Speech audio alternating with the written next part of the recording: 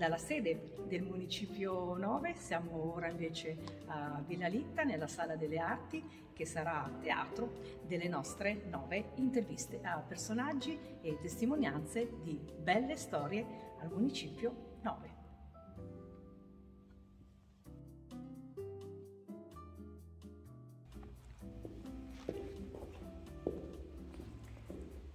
Benvenuti e benvenute, siamo sempre nel nostro programma Web TV Arti e Mestieri e proseguo con le interviste. Naturalmente, insomma, l'intervista che mi sembra assolutamente doverosa è quella al nostro storico, lo storico storico del, del Municipio 9, che è proprio Luigi Di Pavoni. Ciao Luigi, benvenuto. Ciao, ciao. Senti, storico è una parolona, insomma, è un appassionato della storia Comunque c'è da dire che in ogni caso tu hai veramente eh, raccolto tantissime testimonianze, poi hai visto proprio la trasformazione di questo municipio che prima era la zona 9 e adesso comunque è rimasto quello stesso numero, però eh, hai raccontato comunque anche nei tuoi libri, nelle tue ricerche, nei tuoi studi, quello che è proprio il passaggio di trasformazione anche urbanistico no? del territorio, perché è cambiato tantissimo. Ricordiamo che i confini del municipio 9 vanno fino a Piazza 25 Aprile, comunque poi prendono eh, quella zona che adesso è diventata, eh, diciamo così, eh, quasi più glamour ed elite, che è proprio la zona di, eh, di Piazza Gaeolenti, di Corso Como, del Bosco Verticale. Guarda, eh, interrompiamo un attimo perché è arrivato il caffè e questa è una cosa veramente bellissima. Che pensiero, no, vieni, vieni qua, vieni. vieni. No, è una cosa bellissima, insomma, la facciamo vedere. Fa parte della, fa parte della, della cortesia che hanno per Veramente l'ospitalità della biblioteca Alvida Letta, grazie, grazie veramente grazie. a Laura perché sei fantastica. Pausa caffè. Pausa caffè.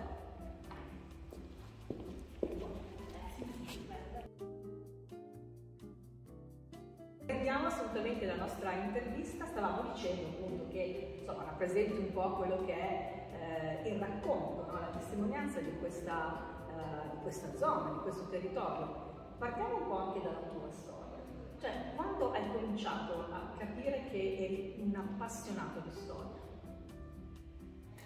Beh, eh, assolutamente la battuta è un po' nel DNA, perché quello mi Ricomonti eh, a Giuseppe era uno storico.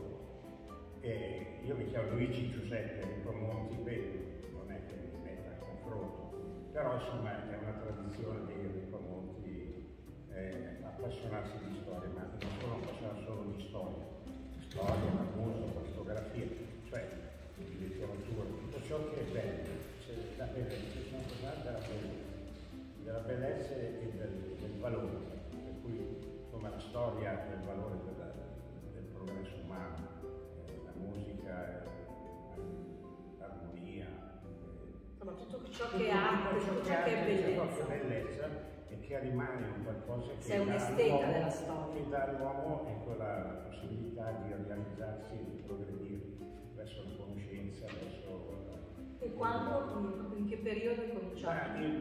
anche piuttosto presto, eh, cioè dalle elementari ecco, ero appassionato di storia perché per sapere, avevo un professore, insomma, una maestra che ce la faceva anche eh, studiare a, bene, studiare bene, appassionare, perché eh, mi ero sempre fissato che chi è che è venuto prima di noi, perché io vedo le opere che ci hanno lasciato, però il conoscere eh, come, cosa è successo qui, eh, le persone che hanno vissuto, il sacrificio di, di intere generazioni per darci un mondo così, per darci questo progresso e, e, e questo ci deve serve di molla e di stimolo e di spinta per noi lasciare agli altri, perché queste domande qualcuno se le farà eh, certo, nuove generazioni. Per cui è questo conduce, che conduce eh, diciamo così, la vicenda umana anche dal, diciamo, progresso all'atterraggio su Marte, tanto per dire. Ecco, su Marte proprio siamo in questi giorni, che è successo? È tutto collegato e quindi ha, ha un senso se eh, non viene spezzettato, non viene dimenticato, allora rimane solo il presente, eh, invece se c'è la conduzione del passato da ricordare, del presente da vivere, del futuro da sì, Diciamo che la famosa frase senza, sì, memoria non c'è esatto, futuro. No, ma è vero, ecco, e questo mi ha appassionato molto, anche nella fotografia. Più che altro il bello della fotografia, però il, il fissare l'attimo fuggente, quell'attimo lì non ci sarà più nella Infatti guarda, io sono diventata fotografa proprio per ecco, questo, la, perché volevo catturare ecco, gli atti. Per quello allora che, ecco, io ricordando la, la, la mia vita, praticamente il mio, eh, la mia vita nel, territorio in cui sono nato, in cui sono sempre stato, eh, mi sono appassionato a vedere che chi è che ci ha preceduto, i nomi, i bisnomi, gli anni, eh, andare indietro 800 e 700, quando vedevo passavo lì in Scolati a vedere quella torre lì. Che mi eh, tra l'altro appunto in Scolati c'è, una torre che è del 1200. 1200, sempre toccare, eh, andavo lì a toccare i mattoni, quel mattone qui, ha toccato uno 800. Ma sai che noi siamo stati lì dentro insieme molti anni fa per vedere appunto com'era come stata realizzata e comunque anche questi famosi buchi no, che, ci sono all'interno. Per vedere che, cioè, non passare vicino le opere che ci hanno lasciato, opere d'arte, opere anche normali, comuni, che ci hanno lasciati con indifferenza, di passare con indifferenza, passare con la convinzione che anche noi abbiamo uno scopo di lasciare una traccia non solo eh, di memoria, mnemonica, ma anche una traccia visibile una traccia con la conoscenza, con la scienza, o comunque anche con le opere alle nostre generazioni. Certo, questo c'è anche un pregiudizio su Milano, perché molti pensano che Milano non abbia no, questa no, grande storia. storia e invece no. Eh, ricerchiamo che noi abbiamo, una storia. E anche, eh, perché Afri, Afri eh, quando dicevo le, l'archivio, i documenti della Stesani che parla eh, dei ritrovamenti che ha fatto dietro alla Movisasca di reperti di epoca romana, eccetera. E allora io dicevo, ma è difficile i romani, c'era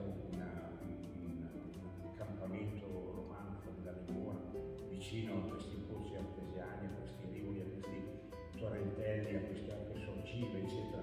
Ecco, qui c'era già storia, Afri era già Afri, nei documenti Afri appare già il nome di Afri, nei documenti del 500-600, quindi, quindi abbiamo... L'etimologia della parola? È, è, un po' controversa, ad foris o ad forum, ad, cioè fuori le mura, probabilmente l'accampamento fuori le mura oppure Santa Giustina fuori le mura, è ancora controversa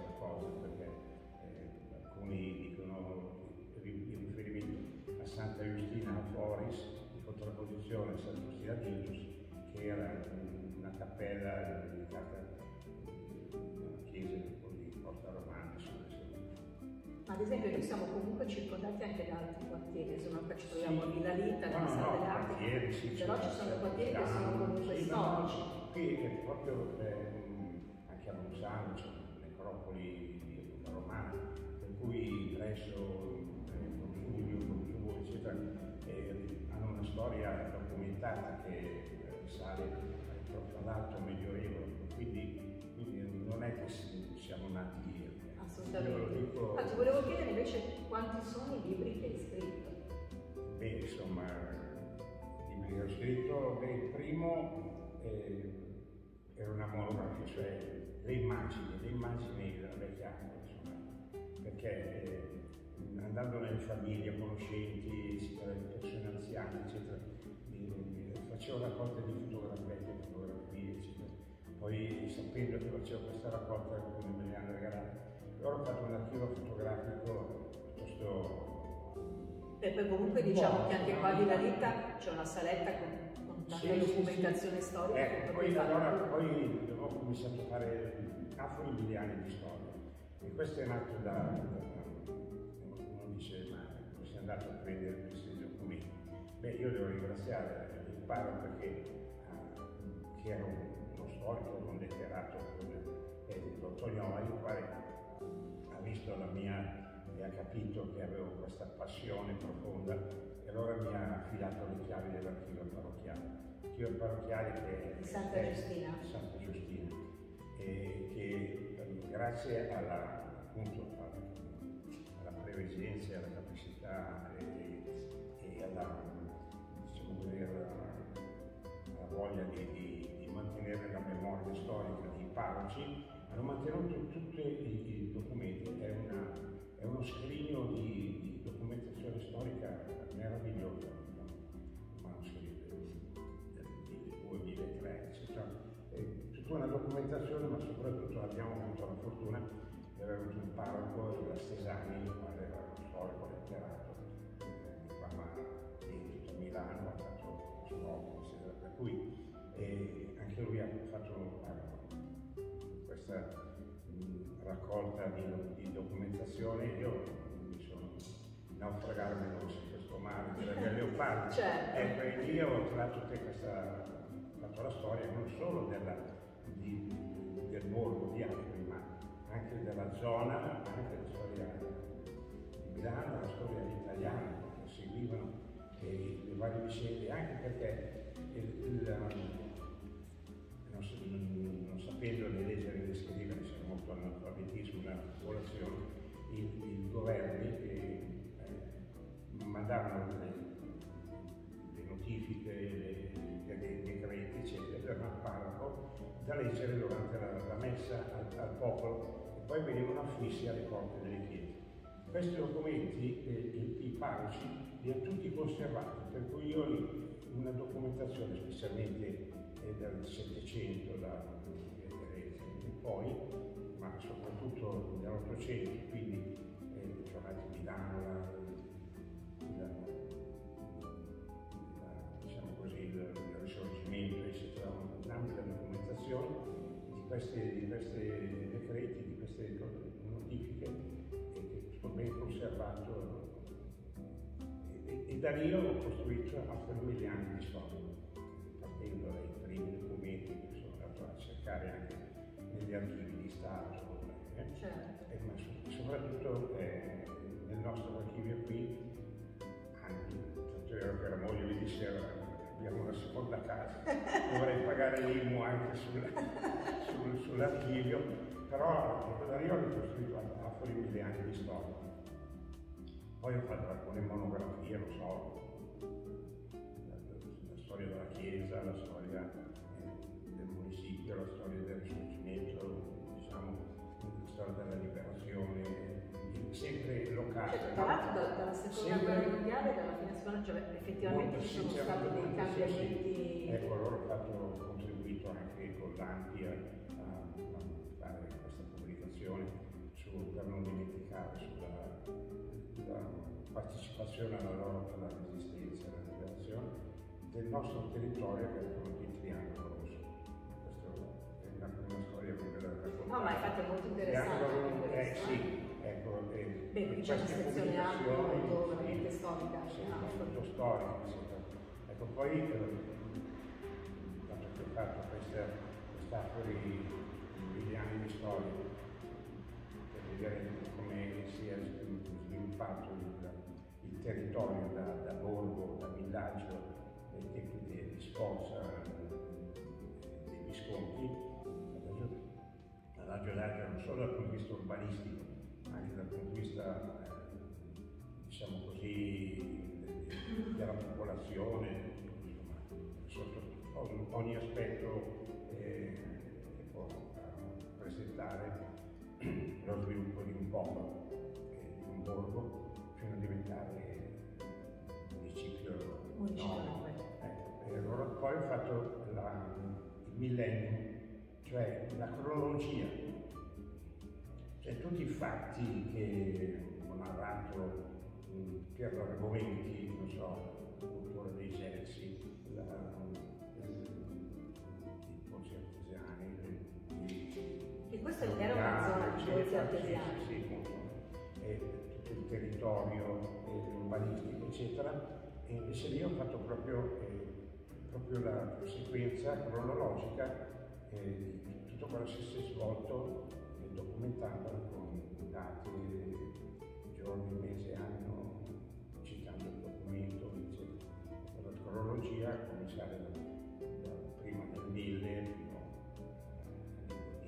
Certo, e, e volevo chiedere, rispetto proprio alla trasformazione nell'ambito proprio dei rapporti anche sociali, no? comunque sì. di professioni, perché noi appunto il titolo che ho voluto dare a questo progetto è proprio arti e mestieri, quindi quali sono state le, le professioni che, che sono mh, state diciamo, le più consuete in questo territorio che però poi adesso sono cambiate? Allora, eh, essendo la periferia di una città eh, ed essendo un territorio prima territorio boschivo ai tempi di Spotsy, era una foresta, erano boschi in genere perché, per l'umidità del territorio, perché qui la falda acquifera era molto alta, eh, perché? Perché la, eh, questione del fiume sotterraneo, eccetera, la falda acquifera era molto alta. Qui era un territorio di abbondanza d'acqua, anche i perafori passavano canali, canaletti, rocce, gente, torrentelli, eccetera, c'era un'abbondanza, tanto è vero che le grandi industrie, i tutti cattivi, Santinoti, eccetera, sono sorti in queste, queste cose perché sì. hanno bisogno di molta.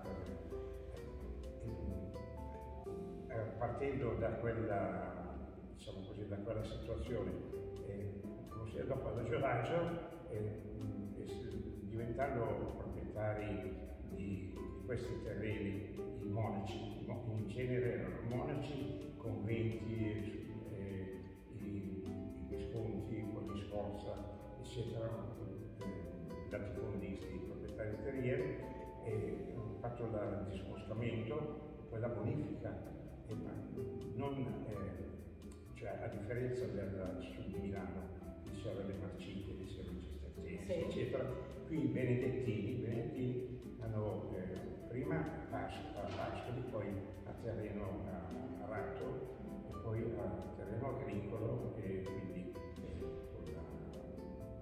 con frutti della, terra, eccetera. Quindi eh, diciamo i monaci di Sant'Ambrogio San Sempliciano, qui già prima del 1000, per cui hanno sviluppato, vedendo la, la fertilità di questo, di questo territorio, erano stati sono espansi, per cui dal punto di vista del territorio era un, diciamo così, uno spazio molto, molto fertile dal punto di vista e molto produttivo, produttivo e quindi, quindi c'era molto commercio, soprattutto con la città ma anche con, con i paesi della montagna. Poi c'erano queste vie di comunicazione che andavano ai passi attraverso la via Comasca, poi si, si andava verso la Svizzera. Volevo chiedere come mai Manzoni ha deciso di, di venire a Milanita come diciamo, residenza estiva di, Manzoni? No, la residenza estiva era a Brusugno. Era a Brusugno. Era a Brusugno. E qui invece c'è la residenza estiva, la prima residenza diciamo estiva, la zona di caccia, c'era la zona boschiva qui, e villa, l'ha fatto il potente arzvescovo di Milano Giovanni Visconti, siamo nel 1350. Poi Visconti sono stati in Sforza, poi è andato in, diciamo, in rovina, ecco. però è, è, rimasto sempre questo territorio in proprietà sempre di, di, di casati, di viscontei, scozzesi, no? E, poi di grandi proprietà militari terrieri, poi tempi di spagnoli, quindi è sempre stato una, una zona di, di, di, proprietari terrieri, di, grandi latifondisti, per cui era molto ricca. E quindi questa è la zona dove sono sorte le ville, le ville dei, dei signori, eh, Castellazzo. Rainate poi c'è un'altra villa lì. Castellazzo, qui, qui era tutta una zona di ville, Sano, Fiorato. Sì, sì, sì, tutta una. Il territorio di Afris era appunto vasto, avevamo fino a mille persone. Ma volevo chiederti, quando Villa Lippa è diventato invece, eh, cioè, proprietà del comune di Milano? Beh, eh, nel 1905, perché sempre la, c'è sempre stato un passaggio, diciamo, di, di eredità attraverso matrimoni, sempre stato in, in famiglia, sì. attraverso testamento, testamentario. Mentre l'ultimo è stato Giovanni Vita Modignani, che ha sposato la figlia del Tacciolo, di un Tacciolo, che è morto nel 1905. Nel 1905 ah. Modigliani è morto senza, senza lasciare eredi. Senza lasciare eredi, cioè le tasse di successione erano eccessivamente pesanti, per cui ha preferito lasciare il tenimento, sia la villa che il parco, all'amministrazione provinciale. Era un territorio che arrivava, diciamo, Paolo Pini, sì. molto esteso, quindi la villa era una Perché, ad esempio, eh, in Vialita Modigliani all'incrocio ci sono i due famosi, cosa sono? Sono proprio le, sì, l'ingresso della vita. l'ingresso della vita, quindi occupava. Come si chiamano questi? I sirenei, noi li chiamiamo i sirenei, I sirenei le sfingi, gli obelischi e vasi ornamentali, che ci sono anche dei nati e. Castellaccio, eh, sono a metà Settecento, per cui era proprio il momento in cui lo stile egizio, diciamo che... Quindi l'ingresso della villa era veramente lontano. Era lontano, ma anche il possedimento della villa era molto esteso. Infatti io nel nostro archivio abbiamo libro che elenca tutte le proprietà terriere che erano dei taccioli e quindi una, una, aveva una vastità, cioè un milione di metri quadri, per cui arrivava fino a Buisasca, Dopo, eh, passando all'amministrazione provinciale nel 105, eh, l'amministrazione l'ha lottizzato, per cui Ragionaggio, eh, il parco di La Vita sono rimasti perché sono adesso. No? E, e nel 1917 l'amministrazione provinciale ha passato al comune, anche Afro nel 1923 è stata, è stata aggregata al comune. Per cui. Ma durante la seconda guerra mondiale che cosa è avvenuto in questa zona di trasformazione? E molta perché No, la trasformazione maggiore è stata, è stata prima, con l'immigrazione. La prima immigrazione, c'è stato il, primo grande flusso di immigrazione, è stato alla fine dell'Ottocento. Quando c'è stata l'industrializzazione interna, cioè, che è la manodopera, diciamo così, di manovalanza che arrivava nel periodo dalle, dalle, dalle zone, dalle regioni limitrofe sì. Piemonte, Veneto, Ligure, Emilia Romagna, in genere, la, la, prima grande immigrazione. E da lì eh, c'è stato l'impatto, l'impatto con un territorio che eh, paese eh, agricolo, la, la cortile, il, il campo, eccetera. Invece stato un fenomeno immigratorio eh, ha esistito un uno stravolgimento. Uno stravolgimento urbanistico, eh, sociale, lavorativo, cioè, per cui sono tutte le cooperative edilizie, eh, società di molto soccorso, certo. eh, gli ospedali, far fronte ai problemi della popolazione. Della popolazione. La prima grande immigrazione, veramente la prima immigrazione è stata nel Cinquecento, quando è passato a feudo allora qui eh, la, cultura, la, cultura, del terreno è passata da pascolo a cultura a, completamente all'agricoltura, proprio il classico termine della parola. No? E allora è stata un'immigrazione di manodopera agricola, in genere dalla bergamasca e dalle chiese. Prima immigrazione, seconda l'immigrazione 1800, l'immigrazione operaia, poi la terza immigrazione è stata dopo la guerra, negli anni 50, quando è stato il boom, loro sono solo le grandi industrie, sono sviluppate le grandi industrie. Qui sono arrivate le persone dal sud. Ecco, è stata la migrazione dal sud, Piemonte, ma anche in Lombardia, e dove si trovavano non certo nella città, ma nella um, immediata periferia perché per la comodità di, di arrivare alle fabbriche, le fabbriche erano, erano nella cintura della periferia, noi avevamo molte fabbriche di Napoli e anche piuttosto eh, grosse. Cioè, poco tempo fa comunque, diciamo così, nel tempo è stata chiusa la Wernicon, che Sì, però da aprile, Aprile. la, Risa Riscia Ginoli. Sì, ma poi anche Bergamo, eh, Caviani, Carlo Erba, insomma, c'è stata l'immigrazione. eh, Nella poi- famosa Carlo Erba, quindi insomma... Poi seconda immigrazione sì, appunto, allora, l'ho vissuta benissimo, che eh, ho fatto tutto uno studio sull'immigrazione della- del paese,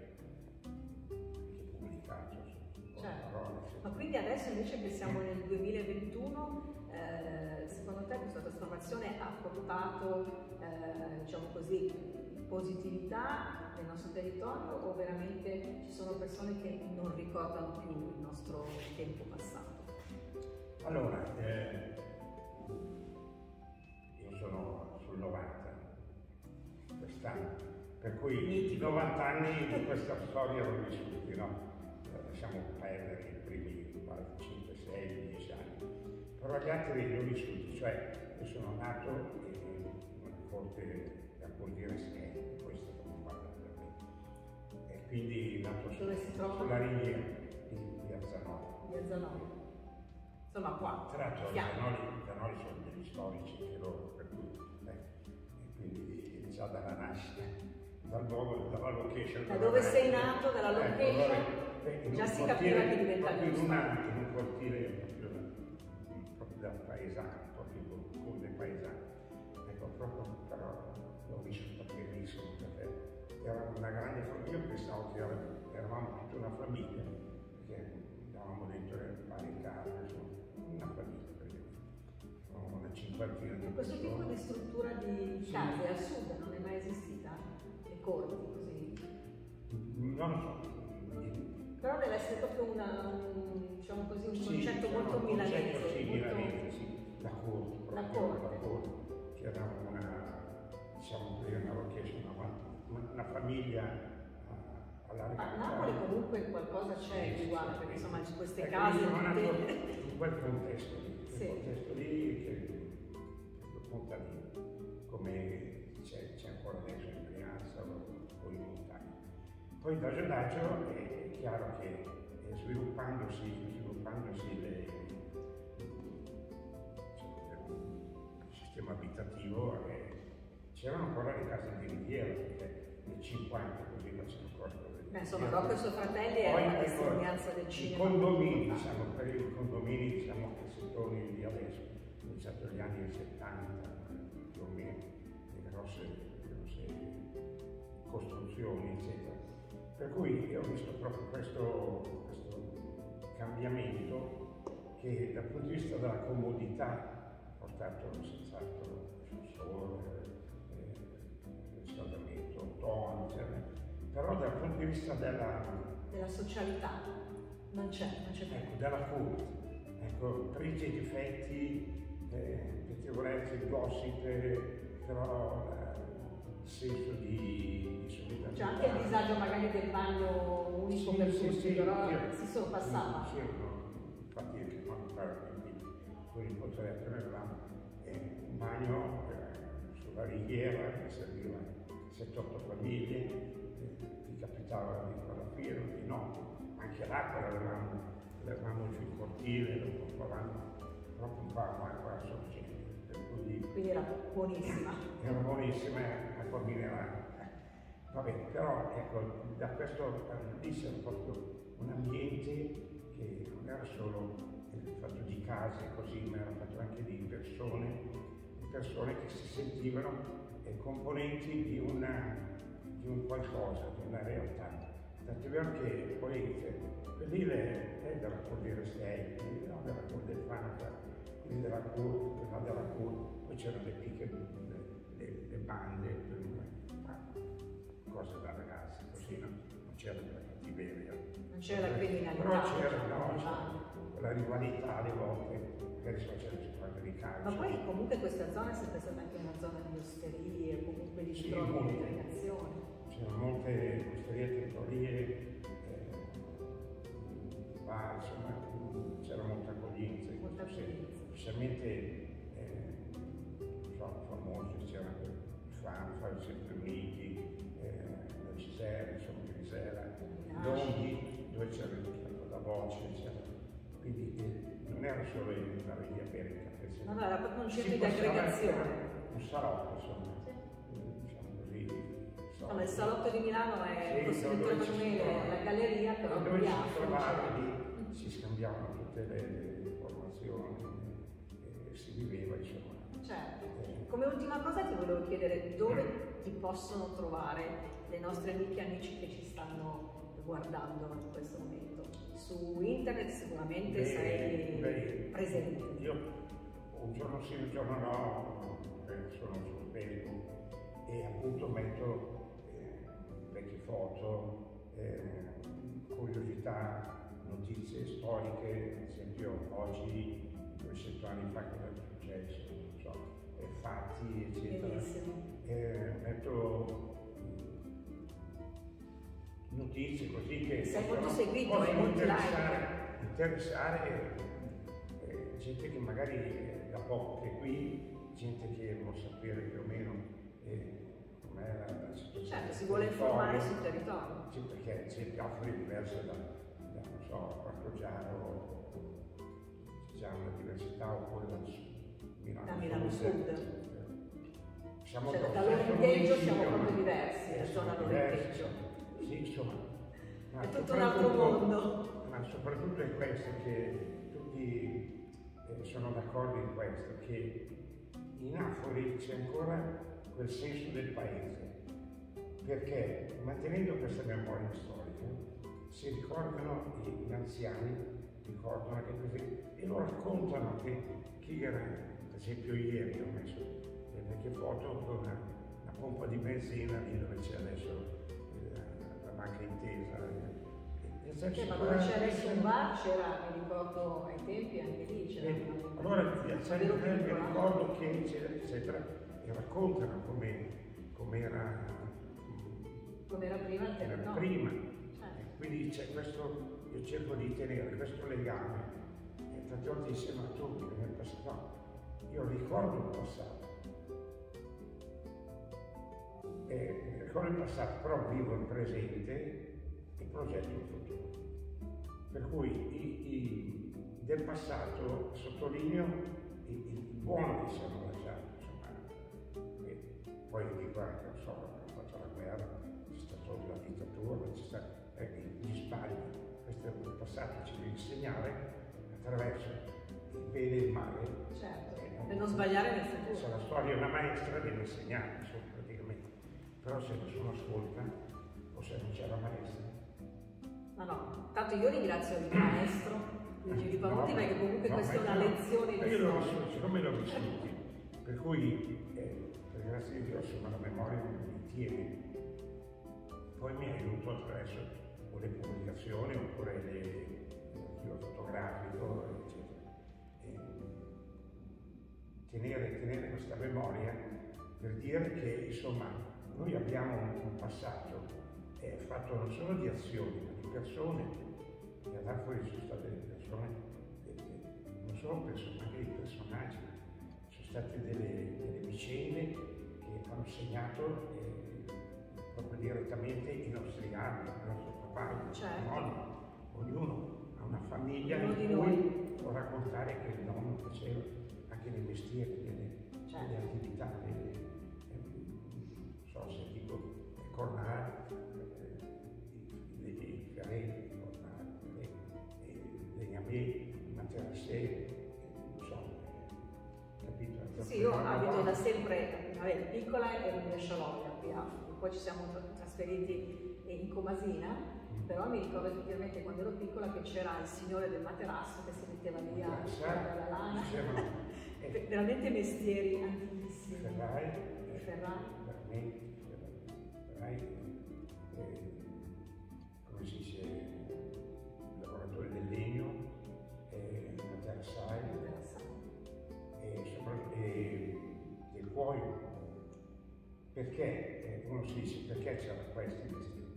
Perché deriva da, eh, tutto viene da, dall'influenza che ha avuto la realtà della villa vita i suoi proprietari del paese di Acqua.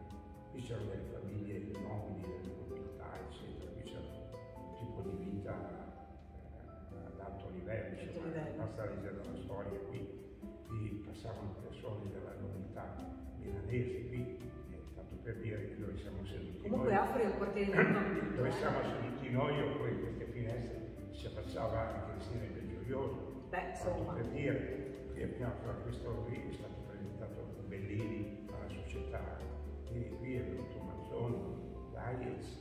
Insomma, noi calchiamo il pavimento dove è stato Manzoni, dove è stato Bellini, la contessa del In Gioioso. quel cammino stato- sono stati bruciati un sacco di documenti delle società segrete quando è venuta la polizia austriaca a- a- ad arrestare il, eh, Alessandro d'Aragona. E questo lampadario che abbiamo sopra di noi Un- è arrivato nel 1800, Sì, sì, più o meno. più o meno.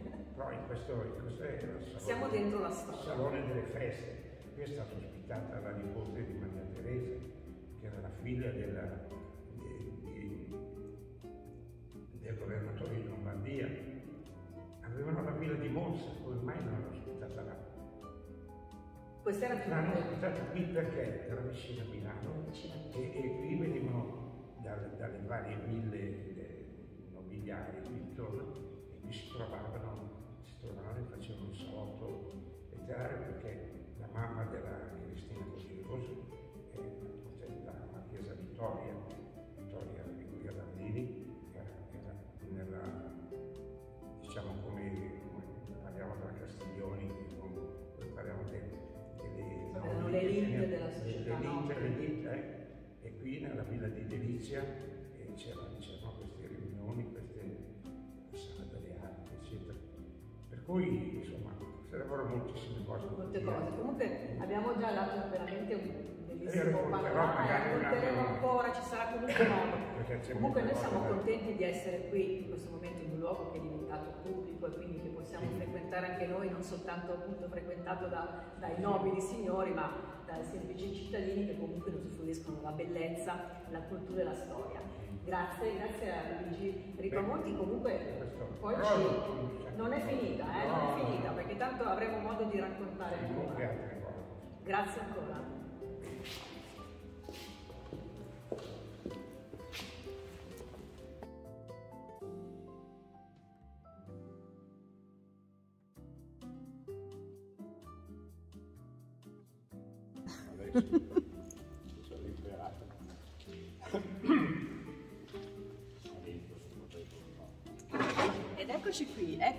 Con il mitico Luigi no. Ripamonti. Mitica è una parola grossa, eh? Mitico, mitico, ci conosciamo veramente, io ero quasi veramente in fascia da quando ci siamo conosciuti perché già ai tempi mi interessavo molto appunto della, della nostra zona, che ai tempi appunto si diceva ancora, eh, eravamo nel consiglio di zona 9, adesso siamo invece appunto un municipio 9, però ha mantenuto questo 9, no? perché poi come diceva anche il Presidente prima, eh, insomma siamo il- veramente un municipio, ci sono 190.000 persone, quindi siamo veramente una città, una città nella città.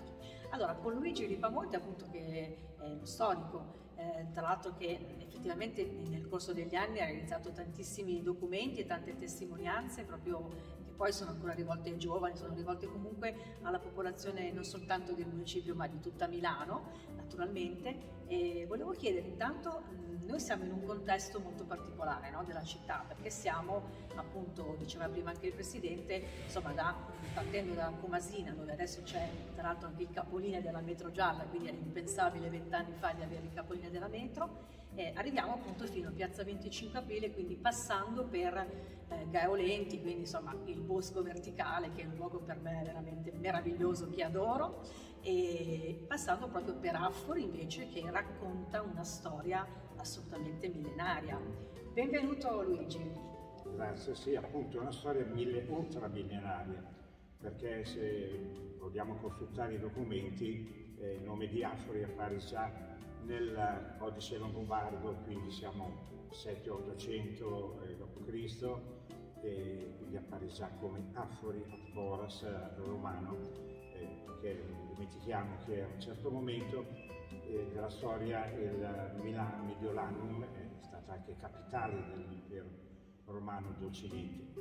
Per cui eh, questa zona, eh, tra l'altro, è una zona eh, di, stanziale per gli eserciti e la castra romani, eh, assodata, anche testificata dagli reperti archeologici, archeologici e il ritrovamento, il ritrovamento da parte del parco stusiano di, di, reperti di epoca romana, sempre in zona Bovisasca, Samamete. Ecco, eh, queste non vediamo. chiedere, a Bruzzano, quel sarcofago sì, che ecco, c'è in piazza, che cos'è? Sì, ecco, il sarcofago è medievale. Medievale comunque questa era una zona eh, eh, cimiteriale, una zona eh, diciamo così di, di, di, stanzi, stanziale per gli eserciti, per cui eh, eh, appunto eh, questi reperti sono stati trovati anche eh, mulini, eh, eh, utensili di casa, eccetera, che sono al Museo Naturale Archeologico di Milano, perché questa è una zona che aveva questa storia di, diciamo così, ormai ultramillenaria. Ehm, il fatto che si fermavano gli eserciti qui fuori, del, fuori dalle mura, extra mura, a fuori, fuori muras, eh, qua fuori no, fuori mura, ecco, eh, si fermavano qui perché qui era una zona tipicamente eh, ricca di eh, acque soggive e di posti artesiani, di, di eh, diciamo così, un terreno in cui l'acqua era quasi a, a livello, ecco, falli acquiferi molto, e poi comunque Milano alte, sì. è riconosciuta sì, per essere una città d'acqua. A differenza della zona sud, dove ci sono le marcite, sì. qui invece è stata utilizzata per le coltivazioni, perché molto, eh, la presenza di acqua, eh, diciamo così, corrente, eh, facilitava la, la coltivazione. Ma quindi la zona di, ad esempio, quando quartiere Comasina non era nato, no? perché è nato comunque negli anni 50, che cos'era? Comasina, eh, Via Pissone, Via Alba, tutta questa zona, eh, diciamo così, acque rinnovate, acque rinnovate e, e diciamo, questa zona era una zona boschiva ed era una zona che poi eh, con l'avvento diciamo, dei proprietari terrieri, dei monaci di Sant'Ambrogio, San Sempliciano, dei monasteri di Suori, eccetera, passata dalla zona boschiva alla zona eh, arata e eh, coltivata, per cui eh, ha avuto una trasformazione in questo senso, però per appunto dei, dei monaci. Ecco, era una zona molto attiva perché per le vie di comunicazione che attraversano il lago di Como, la via di Poi la Valtellina, andava sia per il Sempione e, in Svizzera in Gallia e attraverso la Valtellina andava poi eh, in Alemagna da queste parti, quindi eh, le legioni romane eh, avevano eh, fatto queste vie di comunicazione che poi hanno portato nel Medioevo e poi eh, 7 e 800 a costruire delle strade di comunicazione per cui la, la venuta dei, dei, popoli nordici verso Milano si convogliava tutto nella, diciamo, nella nostra zona, dalla Varesina alla, alla Valassina, ecco questa zona che poi adesso è un municipio nuovo. Per questa caratteristica la storia è passata attraverso noi perché gli eserciti che venivano dalla, dal nord eh, passavano tutti attraverso noi. Certo, ma la, la, storia di, eh, ad esempio, Affori e Bruzzano, no? che sono comunque due quartieri eh, più, antichi, no? tra l'altro, sì, di questa Bruzzano zona, è legata. Eh, Bollate e, e, e Bruzzano era capopiede. Il territorio di Affori era così vasto che unico in Milano era, eh, apparteneva a due piedi, alla pieve di Bollate la zona Boisasca, Samamete, eh, Comasina, cioè, e la pieve di Bruzzano. Ma la via, via Boisasca è una via antica? Antichissima, eh, forse è la via più antica, eh, poi c'è il, perché la via per Como qui è... La via Comasina? No, la via, la via Comasina è, è stata potenziata poi in un secondo tempo, eh, verso il 400-500 Ecco, poi c'era la Comasinella che era via Giudita Pasta, erano le tre vie che conducevano verso il nord. La via Giudita Pasta poi partiva da Porta Comasina, entrava in Milano da Porta Comasina. Questa che entrava, eh, che entrava in Milano, eh, l'attuale è Porta Volta, e quell'altra che entrava in Milano eh, da Porta Tenaglia. Praticamente era, eh, si convogliavano eh, queste vie di comunicazione in questa, nella in nostra zona. zona. Anche perché c'era, eh, c'erano i fiumi, i, torrenti, eh, diciamo il Seveso, c'era certo. la c'era, ecco, che eh, portavano, eh, davano un modo di comunicare eh, i mercati sia dal punto di vista commerciale che dal punto di vista militare e anche dei trasporti, ecco, facilitava eh, lo sviluppo diciamo così, sociale, abitativo. Certo, ti volevo chiedere come è cambiato il, il tessuto proprio eh, urbano e sociale negli anni, no? perché appunto noi passiamo da questi quartieri storici no? come Gonzano e Affre dove ci troviamo a Villa Litta in questo luogo meraviglioso, la Sala delle Arti e, e invece poi appunto i luoghi come insomma adesso la mitica, sempre parlare di, insomma, di mitismo, diciamo sì. così, è Gaia Olenti con il bosco verticale, con comunque una zona molto più urbanizzata dal punto di vista anche sociale, più moderno, no? quindi com'è cambiato questo percorso? Beh, eh, nella storia ha avuto dei cambiamenti enormi appunto per questo, per questo fatto. Primo per il passaggio eh, che è facilitato che aveva dalla, verso il nord eh, più che altro mentre si è sviluppato eh, il sud di Milano verso, verso, il centro Italia, verso il sud, qui si è sviluppato verso il nord, verso il Veneto. Eh, quindi eh, il, il, passaggio di persone, lo stanziamento alle volte di persone eh, ha fatto sì che Afori, che era un, villaggio all'inizio, no, ai tempi del, del Visconti, quando ha costruito la sua bellissima villa, una villa di delizie da queste parti, diciamo verso Vialba, ecco, da queste parti qui viveva Pissone, ecco, dai tempi del, del Visconti ad Agio d'Agio eh, si è costituito come borgo, poi come paese, eh, ma era sempre in dipendenza eh, di Bruzzano, perché Bruzzano era il capopieve, il capopieve eh, lì l'autorità religiosa e amministrativa eh, governava un po' tutto. Poi quando c'è stato il Ducato di Milano, eh, questo, poi a un certo momento il territorio eh, verso il 500 è stato infeudato,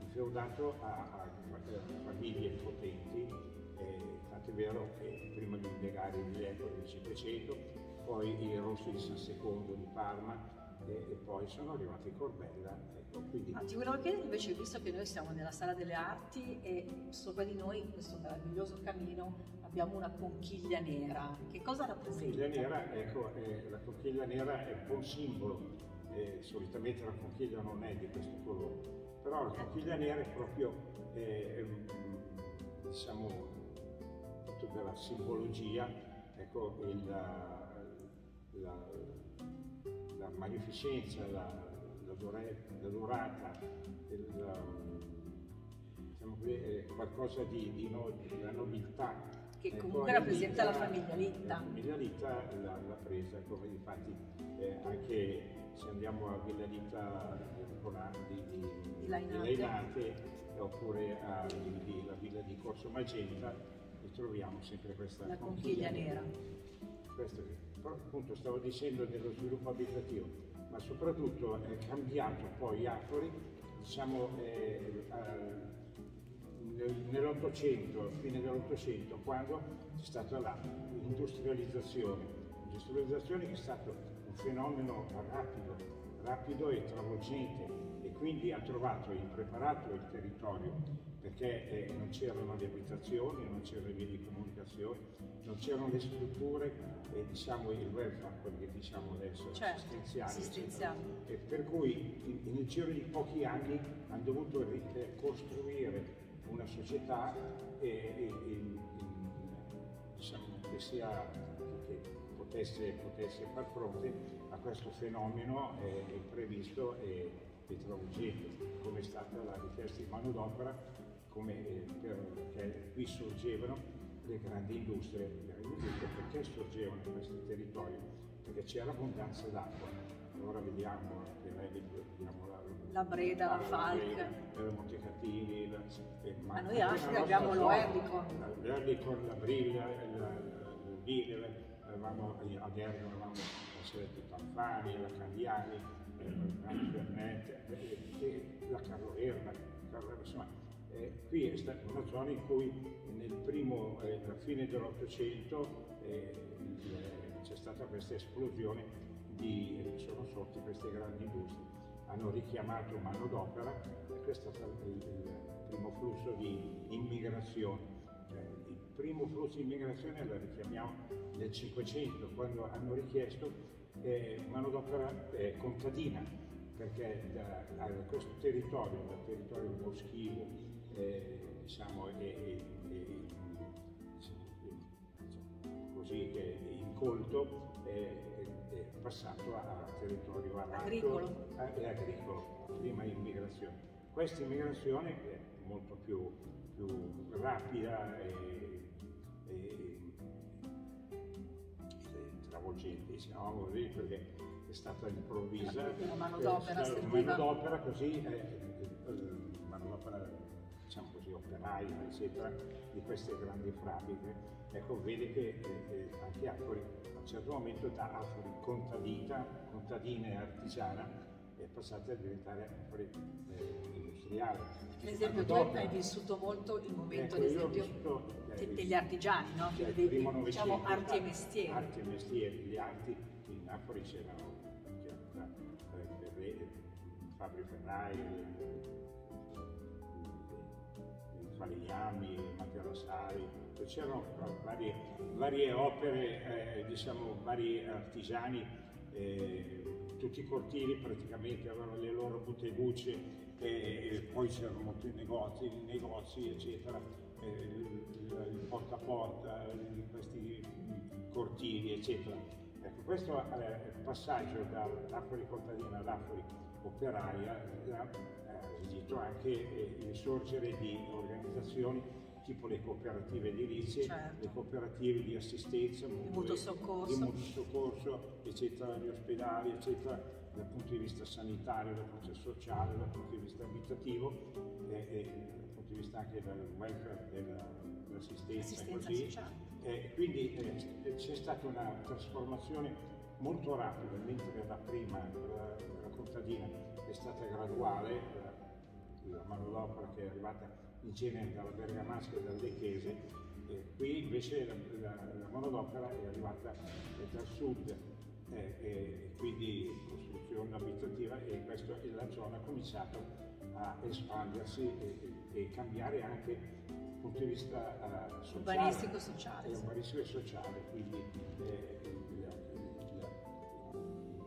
tutto un mondo di tradizioni e, e di diciamo così, e, di cultura magari un po' cultura, eh, eh, diversa no, rispetto sì, al contadino. Ha, ha, dovuto fare uno sforzo, diciamo così, e, accettare il cambiamento, c'è stato un po'. Eh, e poi la terza ondata è arrivata invece negli anni, negli anni del boom del 60.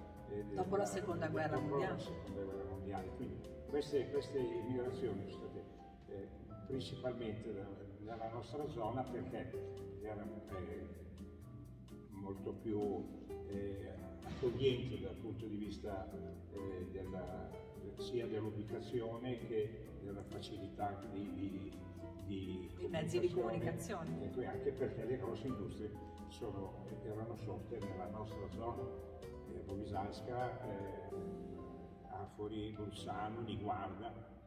Certo.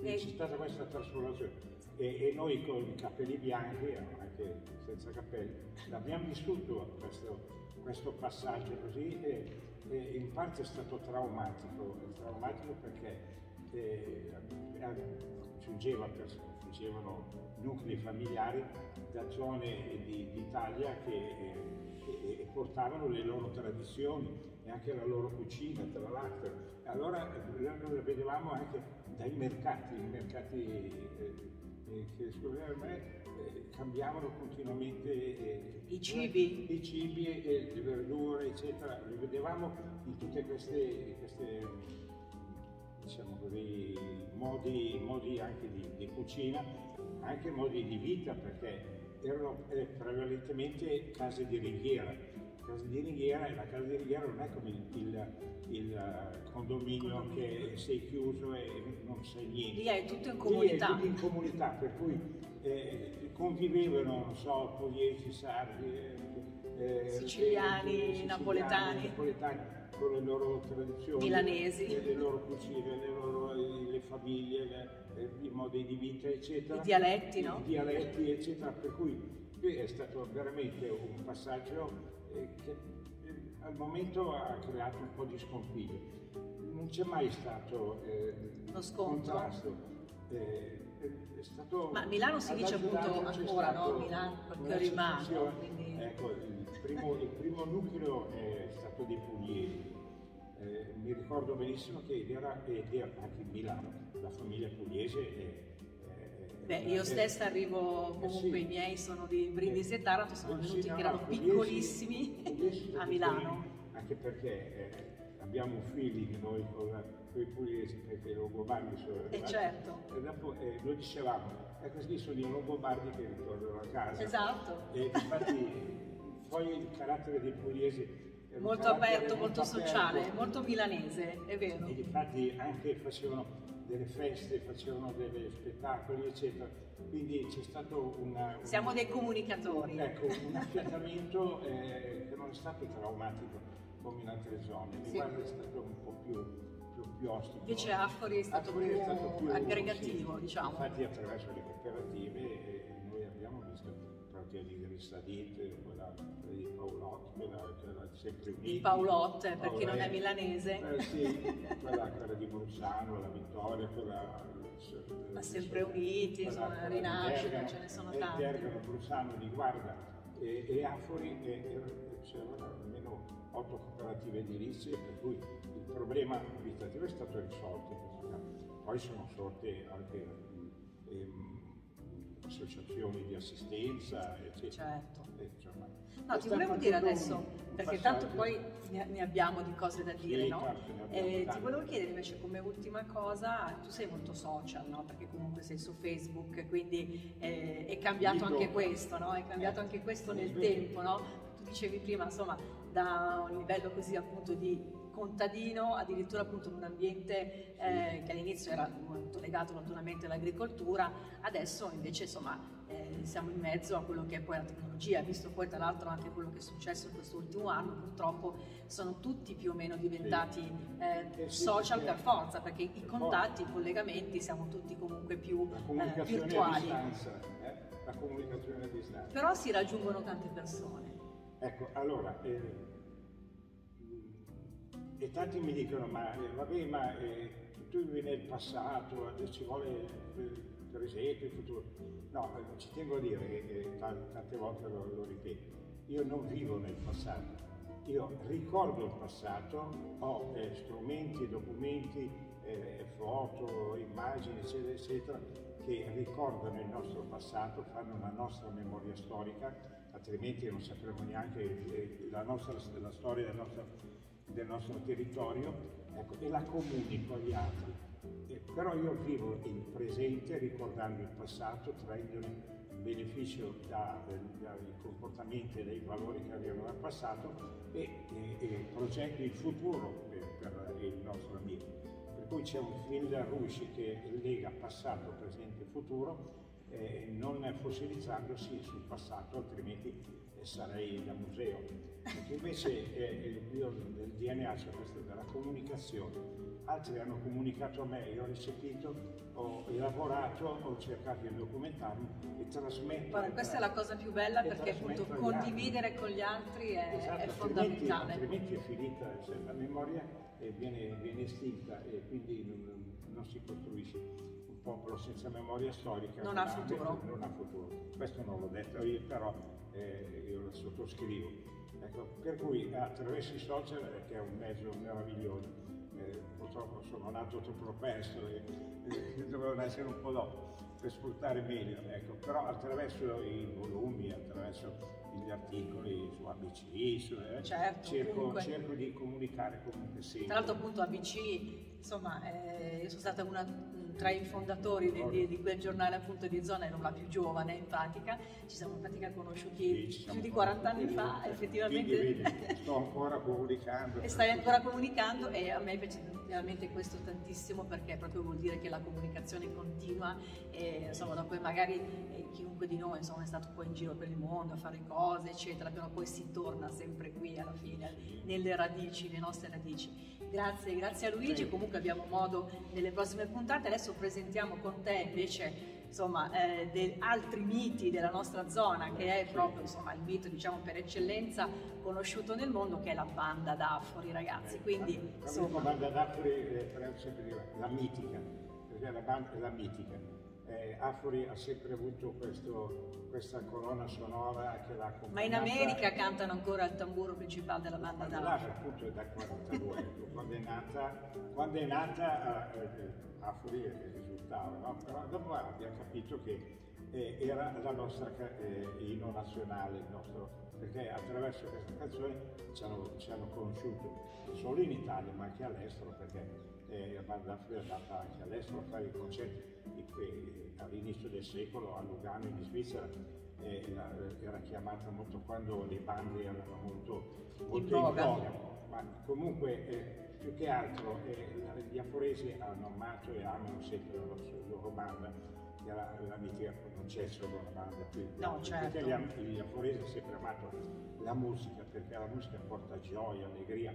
porta comunicazione, porta socialità. Eh, quando c'è il concerto ci troviamo. È sempre festa con una banda. Sempre, sempre festa con una banda. In Napoli tra l'altro erano quattro le bande, non solo una, dei Sempre Uniti, quelle di Paolotti, quelle del, del, del Circolo, quindi quindi, Sempre eh, per i non milanesi Paolot, eh, traduciamo. Paolot, sì, Paolot, sì, sì, quelli di chiesa, diciamo. Chiesa, quelli della parrocchia. della parrocchia. Per cui eh, l'aria musicale c'era perché eravamo abituati anche nei cortili a, a fischiettare, a cantare per strada e quindi la, la, la, la, musica ad Afori è sempre stata eh, una benvenuta e ha portato sempre questo, questa, allegria e divertimento questo sano. Di, di allegria che tanto bene eh, che ci vuole sempre perché eh, il fatto di trovarsi ogni tanto eh, per godere come, come comunità, come, come, paese tutti assieme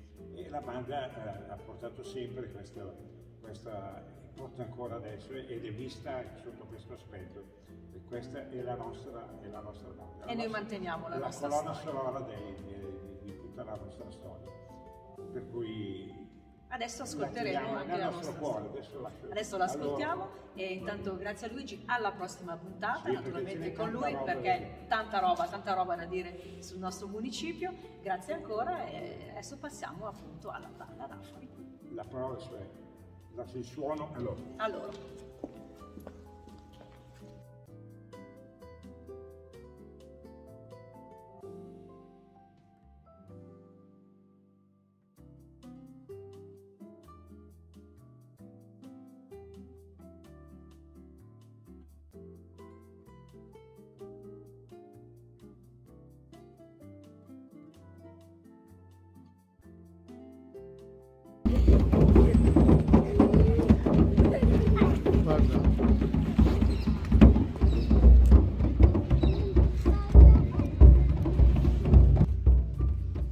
Allora, concetto, stiamo vedendo che naturalmente il tamburo principale della banda d'Afori richiama fa, fa assolutamente sempre sempre un i bambini proprio... e quindi ce li abbiamo qui che si sì. stanno divertendo eh, perché è veramente un richiamo, no? È sempre un richiamo. Attenzione,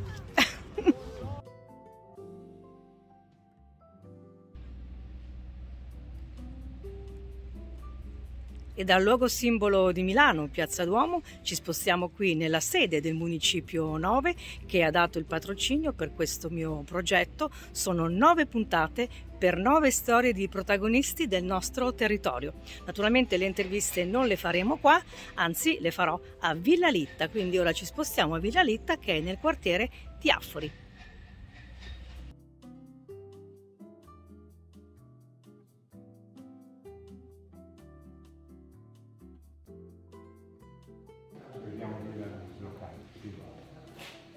vedi quella banda, eh, questo Afori Milani di storia e questo è il Millennium, praticamente è la cronologia dal, dal prima del 1000 fino adesso, tutto quello che è capitato in che vuole sapere qualsiasi cosa è dentro, per qui c'era Cristina Belgioiosa, che era una del, che è vissuta qui, e del Manzoni cosa diciamo? Cosa ha fatto Manzoni? Il Alessandro Manzoni, Manzoni era amico di Taccioli, veniva qui, eh, diciamo così, lui aveva la villa qui a Borruglio, eh, veniva a trovare gli Taccioli, si incontravano. Eh, Perché infatti qua c'è la via Taccioli, poi c'è la via Giuditta Pasta. Giuditta Pasta, via Francofaccio, c'era la via Verdi, c'era famosa Italia. Ecco, questi sono qui sono i proprietari della villa, impresa da Cristina Belgioioso, quella era la mamma della Cristina Belgioioso, perché il marchese Tribuzio aveva sposato Tribuzio. C'è tutta una storia qui della villa, comunque da qui. Certo, certo, avremo modo di raccontarla ancora. Modo di raccontarla, non racconto adesso, non, non dico dopo. Grazie, grazie Luigi. Buon lavoro. Eh. Grazie. La prima puntata. Certo. Ciao. Di solito i, i, i like arrivano su 700 800 like. Cioè tanti like. Ciao.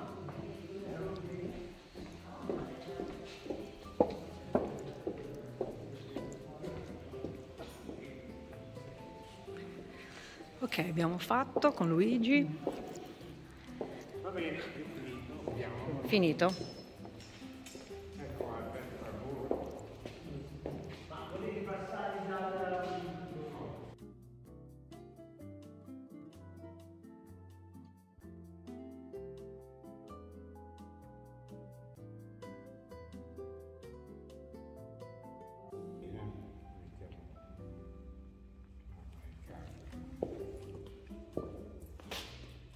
Allora, aspetta, no, non mi piace proprio. Rifo.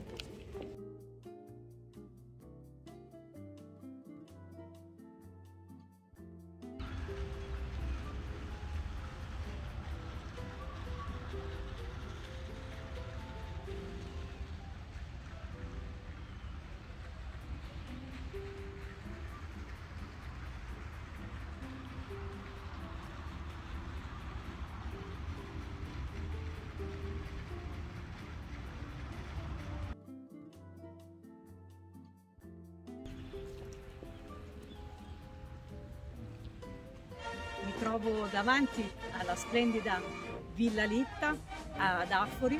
Vi do appuntamento per ogni sabato da sabato 13 febbraio sul programma Mimose Time sul mio canale YouTube per eh, le puntate, le nove puntate come il Municipio 9 che mi ospita e dove ho anche la, insomma, la fortuna di abitare da sempre per le trasmissioni che eh, racconteranno la storia e le testimonianze di personalità, personaggi del municipio 9 appunto. Quindi l'appuntamento è per eh, ogni sabato da sabato 13 febbraio per le nove storie raccontate nel programma Mimose Time Arti e Mestieri al 9 le interviste di KC.